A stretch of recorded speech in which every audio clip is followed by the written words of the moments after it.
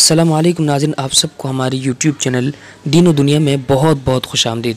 इस वक्त की एक बहुत ही बड़ी ख़बर और इंतहाई अफसोसनाक ख़बर आपको बता दें कि Umar Khalid J N U के सबक तालब इलम, उमर खालिद को दहली पुलिस ने गिरफ़्तार कर लिया है। जी हाँ नाजरीन, इस वक्त एक बहुत ही बड़ी और इंतहाई अफसोसनाक ख़बर है कि जे के सबक तालब इलम, उमर खालिद को कल देर रात उनके घर से दहली पुलिस की एक स्पेशल टीम ने यू एक्ट के तहत उनके घर से उन्हें गिरफ़्तार कर लिया है। दहली पुलिस के मुताबिक उमर खालिद का नाम दहली फसादात के तकरीबन हर चार्जशीट में है। उमर खालिद की गिरफ्तारी गैर कानूनी सरगर्मियों रोकथाम जबते यू पी ए के तहत किया गया है।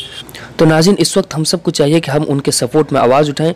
तो इस वक्त ट्विटर पर एक ट्रेंड चल रहा है stand with Umar Khalid hashtag के साथ आप हजरात भी ट्विटर अगर इस्तेमाल करते हैं तो hashtag stand with Umar Khalid के साथ एक ट्वीट कम अज़ कम ज़रूर कीजिए। जो कि हिंदुस्तान में इस वक्त दूसरे नंबर पर ट्रेंड कर रहा है।